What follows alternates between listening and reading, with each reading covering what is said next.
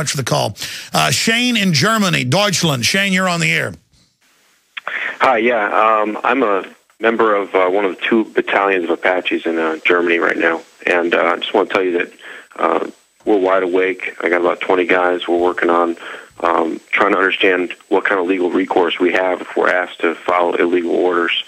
And, um, you know, I, I, order a lot of stuff from you guys. I got, uh, the, you know, the Citizens Rule Book, but we don't have a, a Soldier's Rule Book.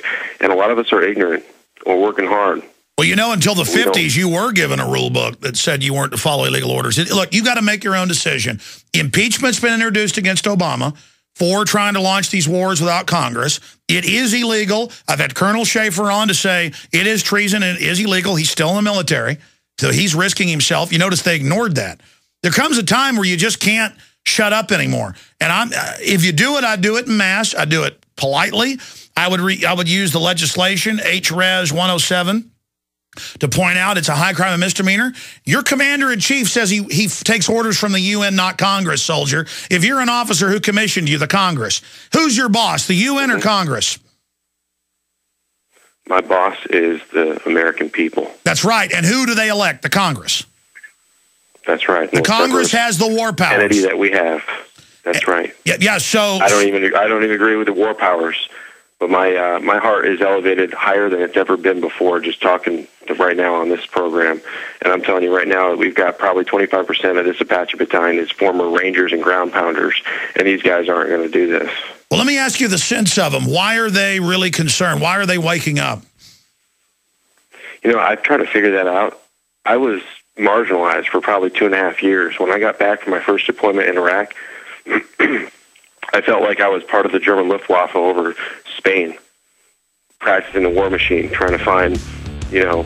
I'll tell you what, Greg Palast is coming up. Uh, sir, Greg Palast is coming up, and I want to have you finish on the other side before we go to Greg, okay?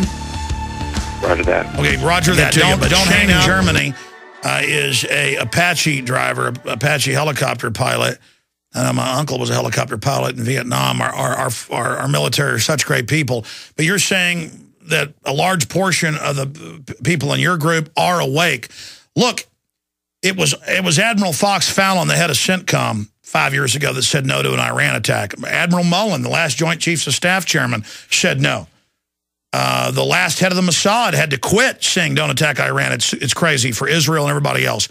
So, you know, you, you ask, how do you say no? I would quietly circulate to everybody that impeachment's begun against Obama. That I mean, have you seen the video where he says that the, that, that, that the president now takes orders from the UN and Congress is not involved? If you're a new listener, folks, I've played it over and over again. He actually, they actually are saying the UN runs America. I mean, there's no brainer here. I mean, if they said the Russians, if, if they said the president now takes orders from the Russians, would you, I mean, what would you do? You've got about less than, what is it, about a third of a percent of the entire population of the United States is in the active duty military. You know, that was about pre-World War II. After we had yes. Pearl Harbor, went to about 10% of, of the whole entire population. I'm looking at possibly the U.S. military active duty being rendered irrelevant. Whatever's going to happen, whatever we're about to get involved in, it, it, everybody's spidey senses up. But people are ignorant. They don't have what in in their gray matter. They don't have what they need. You look at G. Edward Griffin's interview with the KGB Bezmenov. You know, it explains you know, how they demoralize the United States through the education system. People don't have they're not armed intellectually with what they need. That's all I'm saying. Now, exactly, but you were asking me, what do you do to, do. an unlawful order? You know, as a soldier, you don't take orders from the UN, especially when they say Congress doesn't count. I mean, have you heard that audio from the Senate? I heard it all, and I'll tell you what, if that's what goes down, there's nothing left. I just hope listeners realize, I've already aired it a bunch. I mean, it's online where where the, the, the Secretary of Defense says, we take orders from the UN, Congress, butt out. I mean, it's unbelievable. I'm saying this every day. I am saying this every single day at work. Are people, and you say people are starting to get it?